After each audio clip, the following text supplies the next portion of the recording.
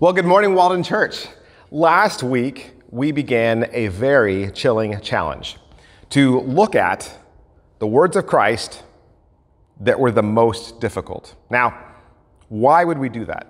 I mean, isn't it better to have lessons and sermons about things we agree with? That way we can feel good about ourselves when we leave the church. Yeah, I don't know that when people listened to Jesus, they always left feeling good. In fact, in John 6, it says, When many of his disciples heard this, they said, This is hard saying. Who can listen to it? And then if you go further down the page to verse 66, it says, After this, many of his disciples turned back and no longer walked with him. Now, some of his disciples left him. The Bible says many, right? So when Jesus walked this earth, he gave us something like 40 commandments, not suggestions, commands. And admittedly, 40 is a lot. It's a lot to remember, it's a lot to obey. But Peter says it best. So Jesus said to the 12, Do you want to go away as well? And Simon Peter answered him, Lord, to whom shall we go? You have the words of eternal life. We're looking at the difficult teachings of Jesus because we have to. We have no choice. If we don't challenge ourselves, we will never grow. So today, we're going to look at the Sermon on the Mount. This is big, Jesus' uh, biggest, longest recorded sermon. If you ever want to find it easily, it's Matthew 5. And perhaps you'd be thinking, oh, well, I like the Sermon on the Mount. I, I agree with that teaching. Today is going to be easy. Think again. This morning might be the most difficult of all. Even Khrushchev, right? Khrushchev, the former president of the Soviet Union, he was also an atheist. He agreed with the Sermon on the Mount. Even in Russia, they're against murder and adultery and divorce. None of those things benefit society. But Khrushchev said, I only disagree on one point. And that was when Christ said, if I am struck on the cheek, I will turn the other. And he said, I believe in another principle. If I am hit on the left cheek, I hit back on the right cheek so strongly that their head might fall off. Let's see what Jesus said. He said, You have heard that it was said, an eye for an eye and a tooth for a tooth, but I say to you, do not resist the one who is evil. But if anyone slaps you on the right cheek, turn to him the other also. Difficult teaching number two don't retaliate. Khrushchev didn't think it would work. And you know what? Most of us don't either. Think about how counterculture that statement is. Don't retaliate. It literally goes against everything the world teaches. I mean, or, or forget the world, right? Try telling a Texan not to retaliate you might as well be speaking a foreign language. The Jews have done enormous research to show that their rabbis throughout the centuries have come up with very similar ideas to Jesus. But they can't find anything in those old rabbinical teachings that come close to saying, Love your enemy. The religious leaders of the world can quote all their wise men and holy men to show that they also have similar religious values as the Sermon on the Mount, but they have nothing that matches Christ's teaching to love your enemies. After all, enemies, right, by the very definition, are not to be loved. You simply cannot love an enemy. If you did, they wouldn't be an enemy. Maybe that was Jesus' point. Eli Stanley Jones was an American Methodist Christian missionary. He was a theologian, an author. He's remembered for his uh, interreligious lectures to the people of India. His most famous book was called The Christ of the Indian Road, sold more than a million copies worldwide uh, in 1925. And this is what he writes in his book about turning the other cheek. When I come to the following verse, I breathe a little faster, for we now have reached the very crux of the whole Sermon on the Mount this refusal to retaliate, the turning of the other cheek, and the loving of one's enemies are the center of the whole. If the principle is not workable, then the heart of the sermon does not beat. It is a carcass, a dead body of doctrine. But if it is workable, then its heart does beat. And in beating, it pumps its warm lifeblood into every portion of the Christian soul. It is hard to believe that these handful of verses can be of such great significance. But the evidence is very strong that they represent the only hope for us to escape self destruction. As of this month, the Federation of American Scientists estimate that there are over 12,000 nuclear warheads in the world. About 10,000 10, of them are in military stockpiles, another 4,000 are deployed. In the United States and Russia, we possess 90% of them. It's shocking to think that there are enough nuclear weapons in countries to destroy the entire world many times over. I want to tell you a story. Real story. But not about the US or Russia, another place called Nineveh. The story of Nineveh takes place in the book of Jonah. And it's ironic that when we hear Jonah, we think about the whale story. But that is not what the book is about. Not at all. In fact, the whale is mentioned twice in the entire book. There's one sentence that says the whale swallowed him, and then there's a second sentence that says the whale spat him back out. So, what is the book about? Well, Nineveh was where modern day Iraq is. And back in Jonah's day, they were horrible, horrible people. And so the book of uh, Jonah is about retaliation, and it's about loving your enemies. One example of how bad the Ninevites were uh, they used to remove the noses and ears of their prisoners, so they were marked for life. And just like other civilizations in ancient Mesopotamia, their culture was immoral, terrifying. They encouraged temple prostitution, child sacrifice, abortion, and the killing of infants. Jonah 1:1 begins. Now the word of the Lord came to Jonah the son of Amittai, saying, Arise, go to Nineveh, the great city, and call out against it, for their evil has come up before me. And Jonah hears these words from the Lord, and he runs away. All God says is, I want you to go to Nineveh, and I want you to be a prophet. You are a prophet. Go to Nineveh, be a prophet. Tell them they're evil. Tell them that they have offended me. And Jonah is thinking to himself, No way. I like my nose. I like my ears. Jonah is swallowed by a big fish. Jonah repents. And God repeats his command Go to Nineveh and tell them that they offend me. So Jonah walks three days into town and he begins to prophesy. In chapter 3, it says, Yet 40 days and Nineveh shall be overthrown. And the people of Nineveh believed God. They called for a fast and put on sackcloth from the greatest of them to the least of them. The word reached the king of Nineveh, and he arose from his throne, removing his robe, covering himself with sackcloth, and sat in ashes. And he issued a proclamation and published through Nineveh By the decree of the king and his nobles, let neither man nor beast, herd nor flock taste anything. Let them not feed or drink water but let man and beast be covered with sackcloth, and let them call out mightily to God. Let everyone turn away from his evil and from violence that was in his hands. Who knows? God may turn and relent and turn from his fierce anger so that we may not perish.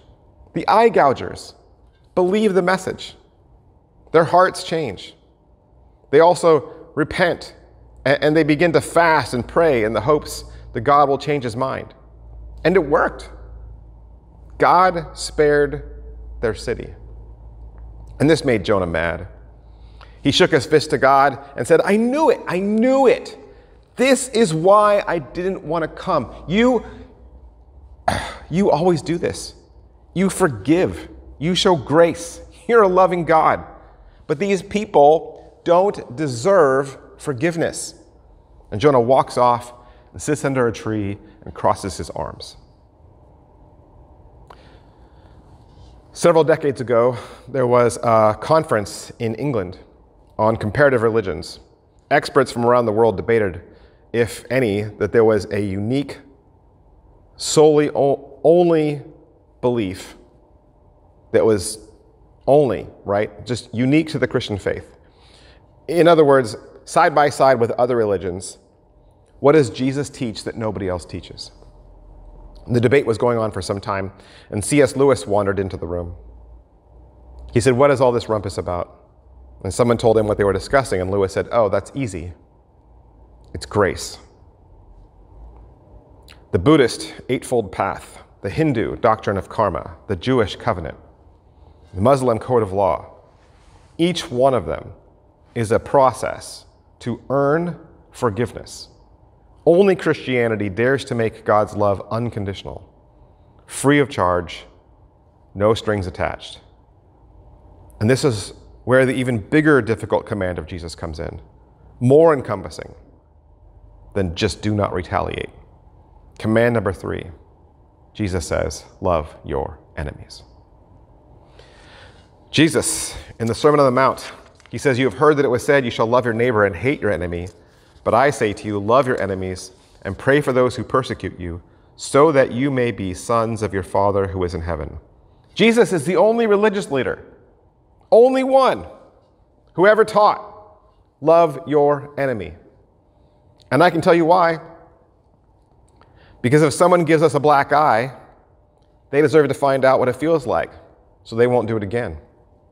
In fact, I'm going to feel bad that they only have one black eye because then their face looks lopsided. So I'm going to give them two just to balance it out. And this is why we're taught not to retaliate. It doesn't work for one. And, second, we rarely, equally, fairly retaliate. We always escalate it. You know, last week we talked about Samson, and I didn't tell you my favorite Samson story. And it's a story of retaliation. See, before Delilah, Samson was married. Yep. Uh, but his wife had two major problems. Uh, number one, she was a Philistine. so she was an enemy, right? And the, that really led to the second one. She didn't love him. So one day, Samson comes home from work, and she's not there. She had returned to her homeland, and she had married Samson's best friend. So, how does Samson take revenge? He gathers up 300 foxes, the animal, foxes, ties them together in pairs, lights them on fire, and sets them loose in the Philistine crops. Those flaming foxes burned all the crops they had harvested, plus all the crops that they were going to harvest, plus their olive fields. Retaliation never makes things better. It's only when we obey Jesus. It's only when we love our enemies. It's only when we turn the other cheek and go the second mile and pray, Father, forgive them. Only then do we start to break the cycle of violence. 1 Corinthians 16 says, Let all that you do be done in love. Only love has the power to turn an enemy into a friend. Retaliation will not change a person. Hatred will not change a person. Arguing and fighting and name calling will not change a person. Only love can change a person from the inside out. In the spring of 1985, Jerry Levin, who was CNN's chief in the Middle East, was released by his Muslim captors. He had been among the first Americans taken hostage, and he was held for a year. And here's what he said to a magazine about his time there. He said, While in captivity, I had what some may call a spiritual awakening. Others might call it being born again, or what others simply might call coming to my senses. Up to that time, I was taken hostage. I had been an atheist, an eye for an eye, tooth for a tooth, very unforgiving, revenge orientated Jewish American atheist. But in my lonely isolation, I began to talk to myself, and I thought, if I keep this up, I'm going to go crazy. Suddenly, I began to consider the fact that people for thousands of years have been talking to this thing called God, and they hadn't gone crazy. Even more than the idea of God, I had always scorned the idea of Jesus. His prescriptions for achieving peace on earth, I had been sure, were unworkable. Forgiveness, in particular, was an impractical act that only served to leave the, the foreigner dangerously vulnerable. However, the more I thought about forgiveness and also Jesus' idea of love and reconciliation, the more I realized how exactly appropriate they have been and are for creating the only climate in which true tranquility, true peace, and true justice can universally exist. Killing and fighting only perpetuate resentment and hostility and promote vendetta, retaliation, and revenge. In the 20th century, our century, more people have come vic- become victims of war and tyranny than in any other era, and it became clear to me that the absence of Jesus' teachings has been the root of the world's most critical continuing problems. Wow. I gotta say that again, right? The absence of Jesus' teachings has been the root of the world's most critical continuing problems. Right now, there are two shows on TV. One of them is The Chosen, and it's in its third season. I believe the second one is over on Peacock, and it's called Those About to Die. One show is all about Jesus, and the other one is depicting the underbelly of Rome. The show about Rome is showing you how corrupt, how self centered, how perverse Rome was. But Rome didn't stay that way. In fact, we know that in 313, Emperor Constantine issued the Edict of Milan, which made Christianity the religion of the state. So, what changed? Was it because the Jewish zealots were able to combat Rome blood for blood? No. It was actually during the Antonine Plague of the second century and the Cyprian Plague the Christians in Rome cared for the sick and the dying when everyone else fled. One third of Rome died. 5,000 people a day. So it was the Christians who did not flee the cities, but who stayed to nurse their families back to health and took care of Roman families who had been abandoned. Their actions, which included providing food and drink burying the dead, and caring for both Christians and Romans saved many lives, and it demonstrated Christian love.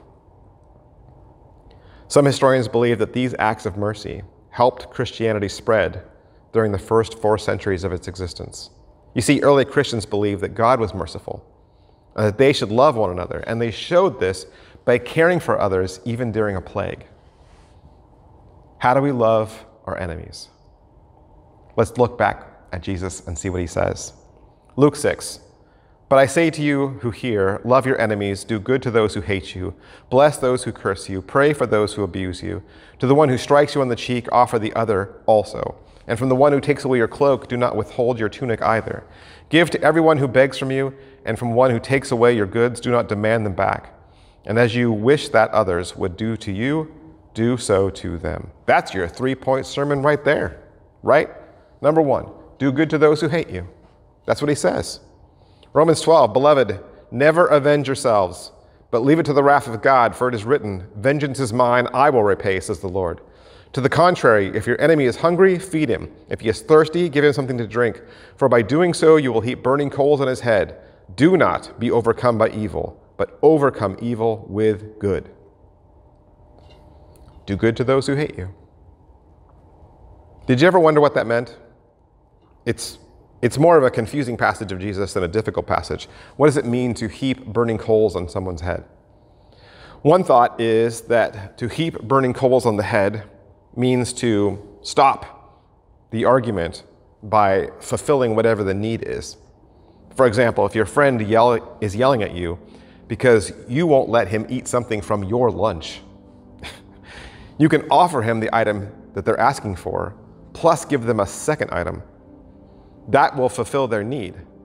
But it also stops their anger and it perhaps um, pushes them even to the point where they start to recognize their own attitude and the meanness that was in their heart because now the act that you have done is a stark contrast to their attitude. Another thought is that to heap burning coals on the head refers to a time when people had to actually keep their home fire alive as a necessity during the winter time.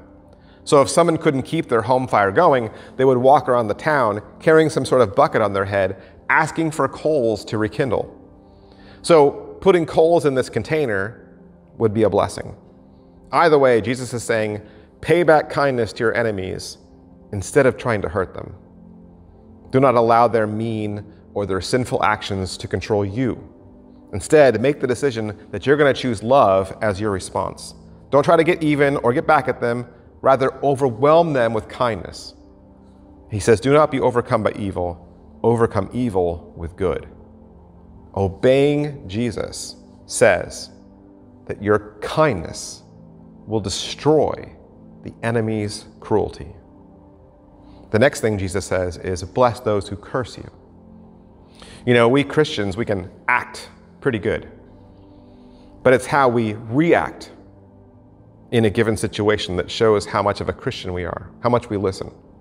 Because when cursed, most of us don't act well. We often respond like the world. We'll fight fire with fire. But Jesus says we're supposed to fight fire with blessing. And then last, he says, pray for those who abuse you. What's the greatest example of this? Jesus on the cross looks down at Roman soldiers and Jewish Pharisees and says, Father, forgive them, for they do not know what they do.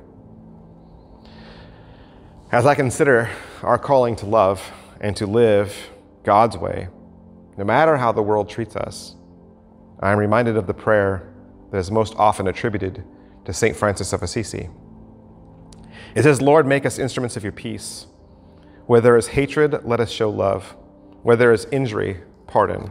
Where there is discord, union. Where there is doubt, faith. Where there is despair, hope. Where there is darkness, light.